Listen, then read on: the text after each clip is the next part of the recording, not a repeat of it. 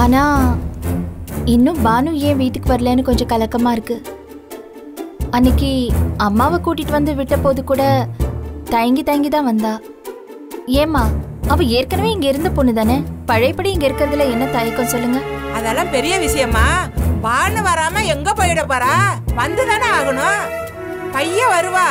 அவ சொல்லி தானே எம்பிட்டு ஏற்பாடும் பண்றோம். அவ வராம இருப்பாளா என்ன?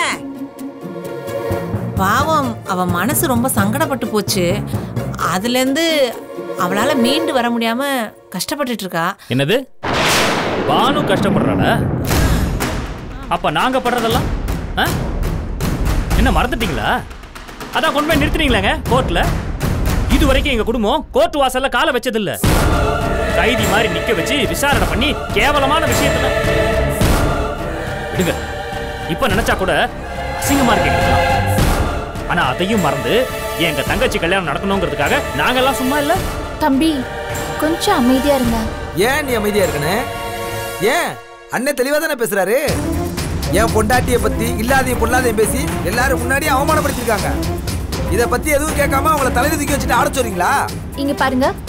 இப்ப நடந்து முடிஞ்சதை பத்தி பேசி பிரயோஜனம் கிடையாது. நடக்க போறத பத்தி பேசணுமா வேண்டாமா? சொல்லுங்க.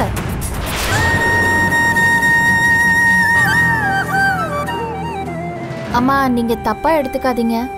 என்ன விஷயமா வந்திருக்கீங்கன்னு தெரிஞ்சுக்கலாமா? அது ஒன்றும் இல்லைம்மா. கல்யாண செலவு தலைக்கு மேலே இருக்கு. இப்போதான் பானு கல்யாணம் பண்ணி ஒரு வருஷம் கூட ஆகலை. எப்படி பார்த்தாலும் ஒரு அஞ்சு ஆறு லட்ச ரூபா கையில் வேணும்ல.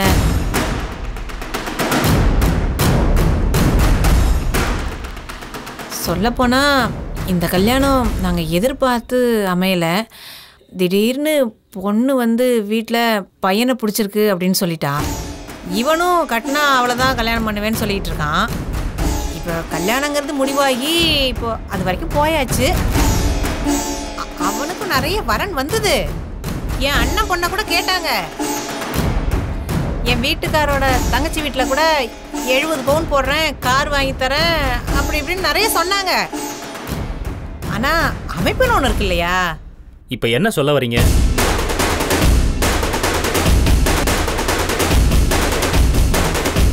இல்லை பையனுக்கு நீங்கள் என்ன செய்ய போறீங்கன்னு தெரிஞ்சுக்கலான்னு.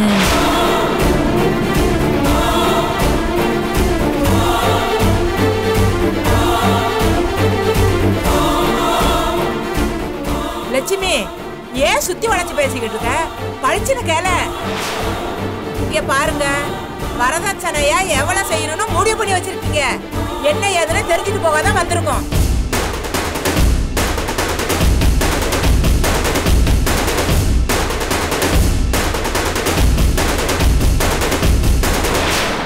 என்ன?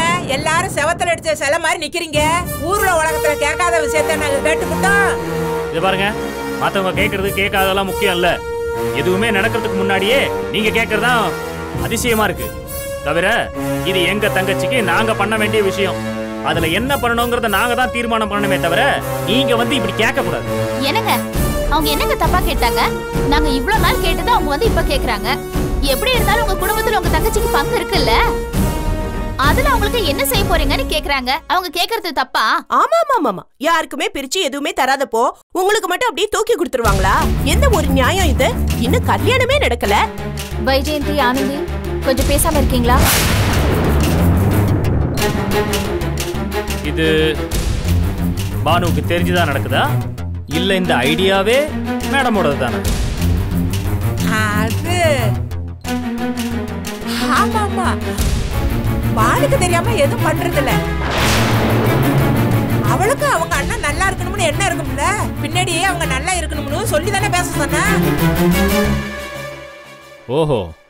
அப்போ இவ்வளோ கண்டிஷனும் போட்டுட்டு தான் மேடம் இந்த வீட்டுக்கு வாழ வருவாங்க. அவங்க சொல்ற நேரத்தில் கல்யாணத்தை பண்ணணும் வரதட்சணை கொடுக்கணும் அவங்க சொன்னதுக்கெல்லாம் நாங்கள் ஆடணும். அப்பதான் இந்த வீட்டில் கால் எடுத்து வைப்பாங்களாமா? இந்த பாருங்க. எங்க தங்கச்சிக்கு என்ன பண்ணணும் அதை எப்போ பண்ணணும்னு எங்களுக்கு தெரியும். அப்பதான் நாங்க பண்ணுவோம். உங்க பையனுக்குலாம் எதுவும் பண்ண முடியாது. என்ன தம்பி நீங்க ரொம்ப அதிகமா பேசிட்டே இருக்கீங்க? உங்க தங்கச்சிக்கு கல்யாணம் நடக்கணுங்கிற எண்ணத்துல பேசுற மாதிரியே தெரியலையே. உடச்சு விடுற மாதிரியே பேசிட்டு இருக்கீங்க. பார்த்து யோசிச்சு பேசுங்க. ஹலோ. யாரு ஓவரா பேசுறது? வைஜெயந்தி ஏன் புருஷனை பத்திலாம் நீங்க எதுவும் இங்க வந்து பேச வேண்டாம். வந்தமா உங்க வேலையை பார்த்தமான்னு இருங்க.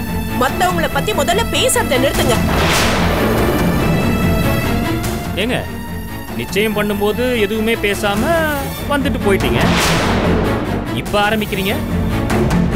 எங்க பேங்க் மேனேஜர் சார் வராம உங்களை பேச அனுப்பிச்சாரா? ஆனா என்ன தம்பி? இதெல்லாம் பொம்பளைங்க பேசி முடிக்கிற சமாசாரம் தானே? எங்க மதுரையில எல்லாம் தட்டை மாத்தணும்னா பேசலன்னா வையுவாங்க என்ன நீங்க கேக்குறதெல்லாம் புதுசா இருக்கு? அப்போ பையன் விரும்புறான்னு சொன்னதெல்லாம் சும்மாவா? ஆ? இப்ப நீங்க ரெண்டு பேரும் சேர்ந்து வியாபாரம் பேசி முடிக்க வந்திருக்கீங்க. உங்க புருஷனும் பொண்ணும் நீங்களே சந்தையில போய் வியாபாரம் பண்ணி வியாபாரத்தை முடிச்சிட்டு வந்துருங்கன்னு சொல்லி அமிச்சாங்களா? அப்படித்தானே? சரி இப்ப நான் இப்படி கேட்கறேன்னு தப்பா நினைச்சுக்காதீங்க. எனக்கு நீங்க என்ன பண்ணீங்க?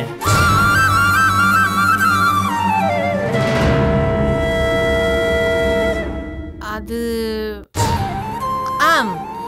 எங்க வீட்டை நாங்க பானு பேருக்கு தானே எழுதி கொடுத்தோம். பானுவுக்கு கொடுத்தீங்க?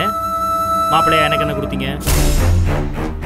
காரு மோட்டர் பைக்கு மோதிரம் ஒரு செயின் ஏங்க உங்க பொண்ணே என் கூட வாழல? அப்புறம் நீங்க அவளுக்கு எழுதி கொடுத்த வீட்டை பத்தி எனக்கு என்ன? சூப்பர்ண்ணே. கரெக்டா கேட்டீங்க. இப்போ உங்க மூஞ்சி எங்க கொண்டு வச்சுப்பீங்க? முதல்ல நம்ம முதுகுல இருக்க அழுக்க தொடச்சிட்டு தான் அடுத்தவங்களுக்கு புத்தி சொல்லணும். இங்க பாருங்க. நீங்க பானுவுக்கு தந்த வீட்டை அவ கல்யாணம் முடிஞ்சதுக்கு அப்புறம் தான் எழுதி கொடுத்தீங்க. அதே மாதிரி எங்க தங்கச்சிக்கு கல்யாணம் முடியட்டும். அதுக்கப்புறமா நாங்க எழுதி தரோம்.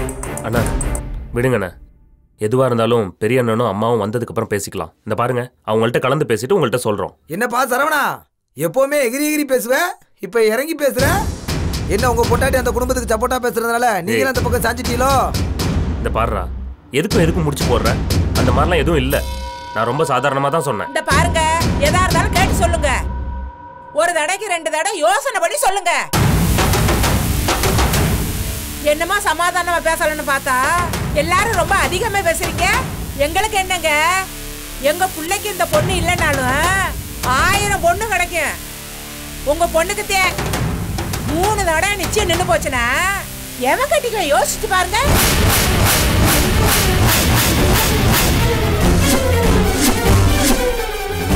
உங்க வெட்டி பேச்சால கல்யாணம் ஆகாமலே பொண்ணை வாழ வட்டியா வச்சுக்க போறீங்களா? இங்க பாருங்க. ரொம்ப பேசுறீங்க. வாய் ரொம்ப நீளுது உங்களுக்கு. வேணாம். கிளம்புங்க இங்க. அப்புறம் மரியாதை கெட்டு போயிடும் அன்னைக்கு வீட்டுக்கு வந்தவனை கழுத்து பிடிச்சி தள்ளி அவமானப்படுத்துனீங்க. இப்போ வீட்டுக்கு வந்து அவமானப்படுத்தணும்னு பாக்குறீங்களா? பேசுறத பார்த்தா பாடு கூட சேர்ந்து வாழ்றதுக்கு ஆசைப்படுற மாதிரி ஐயோ தெரியுங்க வேணாம் தாயி. போதும். வாழ வந்த வீட்டு பெருமையை கோர்த்து வரைக்கும் கொண்டு போய் கட்டின புருஷனையே அவமானப்படுத்தி நாத்தனார் கல்யாணத்துக்கு வரதட்சணை வாங்கிட்டு வான்னு சொல்லி அனுப்புறாளே. அவளோட சேர்ந்து வாழணும்னு எங்களுக்கு ஒன்றும் ஆசை இல்லை. நல்ல கிளம்புங்க. அண்ணி போ சொல்லுங்க நீ இவங்கெல்லாம். தம்பி என்ன? இ- அம்மா இருங்கம்மா. அம்மா நான் சொல்றது கேளுங்க. அம்மா அம்மா கொஞ்சம் பொறுமையா இருங்க. அம்மா.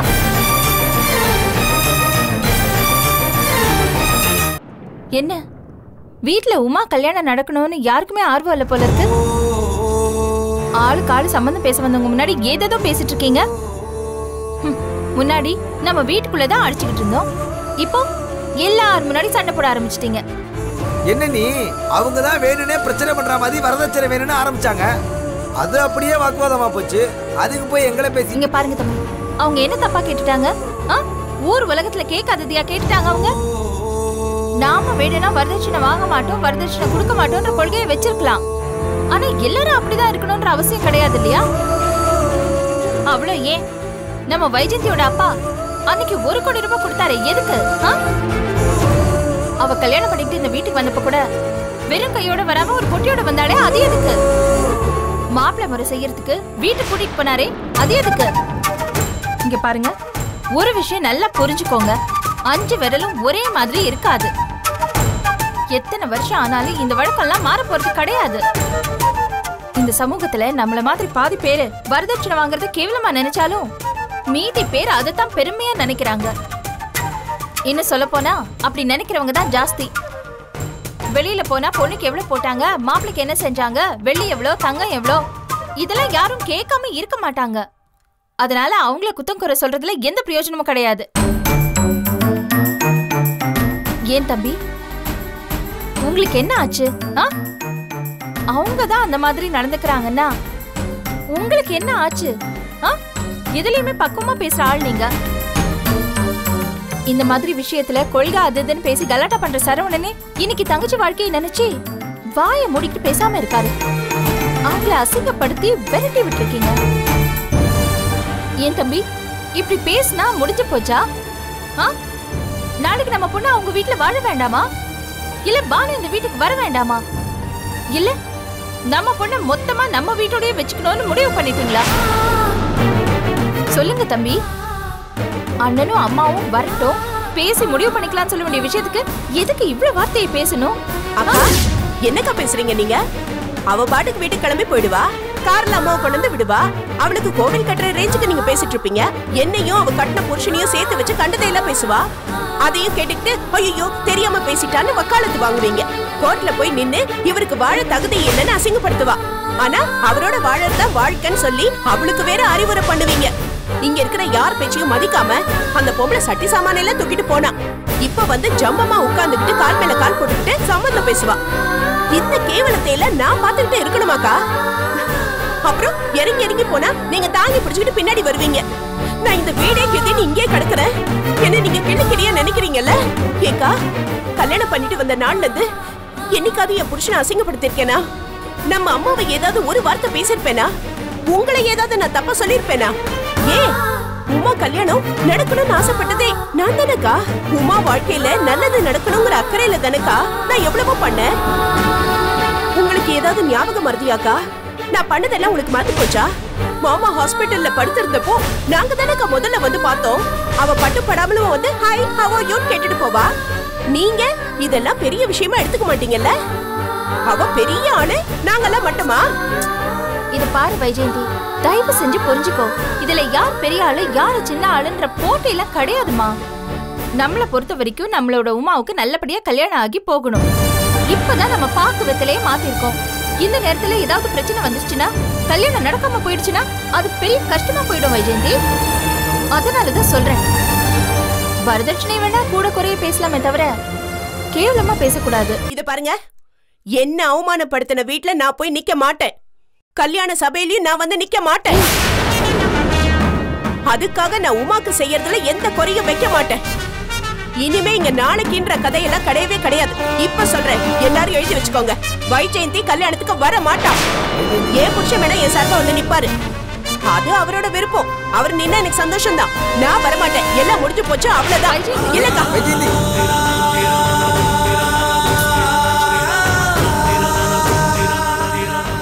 விடுங்கக்கா. அவங்க என்ன ஐயரா இல்ல கல்யாண பொண்ணா? இங்க பாருங்க. அவங்க இல்லைனாலும் இந்த கல்யாணம் நடக்க தான் போகுது. நம்ம எல்லாரும் சேர்ந்து உமா கல்யாணத்தை ஜாம் ஜாம்னு நடத்த தான் போறோம். அதை அவங்க பார்க்க தான் போறாங்க. என்ன தம்பி? ஆ? ஏன் இப்படி பேசிட்டு போறா அவ? ஆமா நீ. ஒரு தடவை ரெண்டு தடவைனா பரவாயில்ல. எப்பவுமே என் முட்டாட்டியே குறை சொல்லிட்டு இருந்தா அவன் என்ன பண்ணுவா பாவம்? அவளும் உப்பு போட்டு தானே திங்கிறா? எல்லாருக்கும் மரியாதை கொடுக்குறீங்க. அவங்க பானுமதி அங்கே அங்கே உட்காந்துக்கிட்டு எல்லாருக்கும் ஆர்டர் போடுவாங்க. என் அண்ணன் கூடயும் வாழ மாட்டாங்க. என் தங்கச்சி வாழ்றதுக்கு பணம் கேட்பாங்க. இவ்வளவு பண்ணியும் அவங்கள எல்லாரும் தூக்கி வச்சு பேசினா? அவ தான் என்ன பண்ணுவா? அவளும் நல்ல அந்தஸ்து இருந்து வந்தவ தான் அவளுக்கு மானரோசம் இருக்கத்தானே செய்யும்?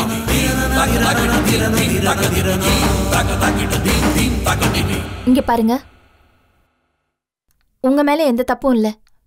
உங்க மனைவி சம்பந்தப்பட்ட விஷயங்களை எப்ப நீங்க பொதுவுல பேச ஆரம்பிச்சிட்டீங்களோ அப்பவே கேள்வி கேட்க ஆரம்பிச்சிடுவாங்க இது பாருங்க தயவு செஞ்சு கடைசியா ஒண்ணு சொல்றேன். உங்க தங்கச்சி ஆசைப்பட்ட வாழ்க்கை எல்லாத்தையும் விட முக்கியமா நீங்களும் பானுவும் சேரணும்னு அவன் நினைச்சா. எல்லாரையும் விட உங்க மேல அவ அதிகமா பாசம் வச்சிருக்கிறதுனால தான் இந்த கல்யாணத்துக்கே அவ ஒத்துக்கிட்டா. நீங்க நல்லா இருக்கணும்னு அவ யோசிக்கிறா தம்பி. ஆனா நீங்க ஏன் அவளை பத்தி யோசிச்சு பார்க்கலன்னு எனக்கு தெரியல. ஒரு வார்த்தைக்கு அவ நல்லா இருக்கணும்னு எங்க இருந்தோ வந்த நான் ஆசைப்படுறேன். ஆனா உங்களுக்கு அந்த அளவுக்காவது ஆசை இருக்கான்னு தெரியல தம்பி.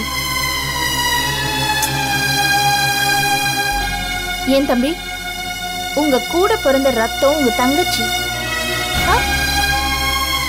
எனக்கு அந்த பொண்ணு யாரோங்க? ஆனா எனக்கு இருக்கிற ஆசை கூட ஏன் உங்களுக்கு இல்ல? எல்லாம் தெரிஞ்சுதான் பண்றீங்களா? இல்ல தெரியாம பண்றீங்களா? அம்மாவை விட என் புருஷன் உயிரை விட உமா கல்யாணத்தை விட உங்களுக்கு உங்க தன்மானம் சுய கௌரவம் இதான் முக்கியம் இல்ல ஆ? இருக்கட்டும். நல்லா பண்ணுங்க. இது வரைக்கும் எல்லாமே நான் அம்மாவுக்காக தான் பொறுத்து போயிட்டு இருந்தேன். இப்போ நானும் பண்ணவா? நான் வெளியில இருந்து வந்தவ தானே? மருமக தானே? மக ஒண்ணும் இல்லையே. என் புருஷன் வரட்டும் நானும் பேசுறேன். போங்க எல்லாரும் அவங்கவுங்க இஷ்டத்துக்கு என்ன வேணாலும் பண்ணுங்க.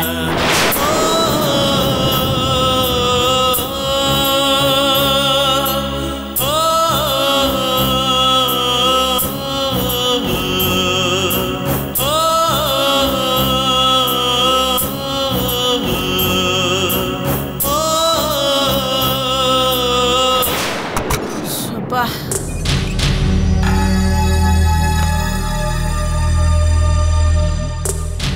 அவ்வளவு தூரம் படிச்சு படிச்சு சொல்லிட்டு போயிருக்கேன். வீட்டை எப்படி திறந்து போட்டு போயிருக்கான் பாரு. எங்க போய் தொலைஞ்சானே தெரியல. கொஞ்சம் கூட பொறுப்புங்கிறதே இல்ல. ச்சே. சின்ன பண்ண காஃபி போட நேரம்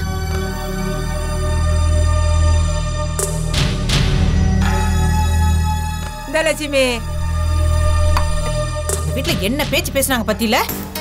அவங்களுக்கு கொஞ்சம் கூட அந்த கல்யாணம் நடக்கணுங்கிற எண்ணமே இல்ல போல இருக்கு. இருந்திருந்தா இவ்வளவு தூரம் பேசிருப்பாங்களா? அட என்ன லட்சுமி? உன் மாப்பிள்ளை என்ன ஆத்தே? நம்மள விளக்காமத்தல அடிச்சு விரட்டி விடாத குறைய விரட்டி விட்டாரு. என்ன இந்த ஆளு இப்படி இருக்காரு? இந்த பானு கண்ணு எப்படிதான் இந்த ஆளு கூட காலம் தெளிச்சது இல்ல போ. ஆமா லட்சுமி. நம்ம பேசுனத உங்க வீட்டுக்காரர்கிட்ட என்னமா சொல்லாம இருப்பாங்க? ஐயோ நீ வேற அவருக்கு மட்டும் இந்த விஷயம் தெரிஞ்சதுன்னு வச்சுக்கோ. நம்ம ரெண்டு பேரையும் உயிரோட சமாதி வர இங்க பார். நாம அங்க போனது பேசினது பதிலுக்கு அவங்க பேசினது எதுவுமே அவருக்கு தெரியக்கூடாது. பார்த்து நடந்துக்குவாங்க சொல்லிட்டேன்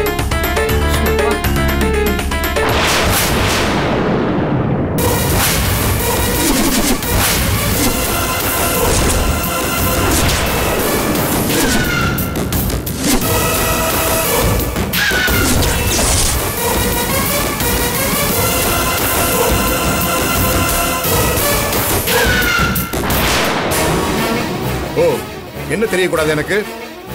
ரெண்டு பேரும் எங்க போயிட்டு வந்தீங்க? யாரை பார்த்து என்ன பேசிட்டு வர்றீங்க அது எனக்கு தெரியக்கூடாது என்ன திட்டம் போடுறீங்க? ஏற்கனவே போட்ட திட்டம் பத்தாதா? புதுசா என்ன போடுறீங்க? சொல்லுங்க. அது ஒண்ணுமில்ல ஓ, பக்கத்து தெருல நாங்க ரெண்டு பேரும் போய். போய் சொல்லி மாட்டிக்காதீங்க. நீங்க ரெண்டு பேரும் பேசுறது நான் கேட்டுக்கிட்டு தான் இருந்தேன். ஒழுங்கு மரியாதையா என்ன நடந்தது? அதை சொல்லுங்க. அது அது ஒன்றும் இல்லைங்க. நானும் சின்ன பொண்ணும் காய்கறி வாங்க மார்க்கெட்டு போனோமா அப்படியே சம்மந்தி வீட்டுக்கு போயிட்டு வந்தோம். போனோம். சும்மா தான் யதார்த்தமாக தான் கல்யாண வேலைகள் மற்ற விஷயங்கள் அது இதுன்னு அப்படி பேசிகிட்டு இருந்தோம். அப்படியே பையனுக்கு ஏதாவது செய்யணுங்கிற எண்ணம் இருக்கான்னு ஒரு வார்த்தை லேசா அவ்வளோதாங்க நான் அதுக்கு நான் வரதட்சணை கேட்குறேன்னு நினச்சிட்டு அவங்க பிடிச்சிக்கிட்டாங்க. அதை கூட நான் கேட்கலங்க நான் இல்லை.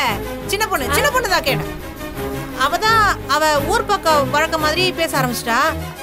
அதை அவங்க தப்பா எடுத்துட்டு ரொம்ப பேச ஆரம்பிச்சிட்டாங்கங்க. அதான் அதான் நீ சொல்ற. பில்டப் நான் நம்பணுமா? உண்மையை சொல்லு. நான் அவ்வளவுதானே சொல்லியும் நீங்க ரெண்டு பேரும் அங்க போய் வரதட்சணை விஷயமா பேசிட்டு வந்திருக்கீங்க. கொஞ்சமா அறிவு இருக்கா உங்களுக்கு? சுய அறிவோட நீங்க ரெண்டு பேரும் பண்றீங்களா இந்த வேலையெல்லாம்? ஏற்கனவே ஆயிரத்தி எட்டு பிரச்சனைகள் இந்த கல்யாணத்துல இருக்கு. பெரிய குழப்பம் பண்ணி டிராமா பண்ணி ஒரு வழி அவங்களை நம்ம பக்கம் கன்வின்ஸ் பண்ணி கொண்டு வந்திருக்கோம். இப்போ இது வேறயா? இல்லைங்க. நான் என்ன சொல்ல வரேன்னு நீங்க புரிஞ்சுக்காமையே. இன்னும் என்ன சரியா புரிஞ்சுக்கணும். உன் பொண்ணு அங்க வாழ வர போறான்னு சொல்லி வச்சிருக்க. உன் பையன் உலகமாக கடங்கார அதையும் மறைச்சு வச்சிருக்க. இதுக்கே என்ன நடக்கும்னு நாம வயித்துல நெருப்பு கட்டிட்டு இருக்கோம். நீ வேற உன் பங்குக்கு வரதட்சணை வேணும் கார் வேணும் சொத்து வேணும் அது மாதிரி இது வேணும் கேட்டு வந்திருக்கேன். நீ கேட்டா அவங்க அள்ளி கொடுத்துருவாங்களா? அப்படி சொத்து கொடுத்து பணம் கொடுத்து உன் பிள்ளைய கிளம்புனா அவன பெரிய மைசூர் மகாராஜாவா? ஏற்கனவே அவங்களுக்கு நமக்கு ஏகப்பட்ட பிரச்சனை ஓடிட்டு இருக்கு. இதுல உன் பங்குக்கு நீ வேற கெடுத்துட்டு வந்திருக்க. இனிமேல் உன் புள்ள கல்யாணம் நடந்த மாதிரி தான் என்றால் என் தன்மானத்தை அடக்க வச்சு அவங்க கிட்ட எதுவும் பேச முடியாது. அவங்க ஏதாவது என்ன அசிங்கமா பேசினாங்கன்னா என்னால அங்க போய் தொங்கிட்டு இருக்க முடியாது. அவ்வளவுதான்.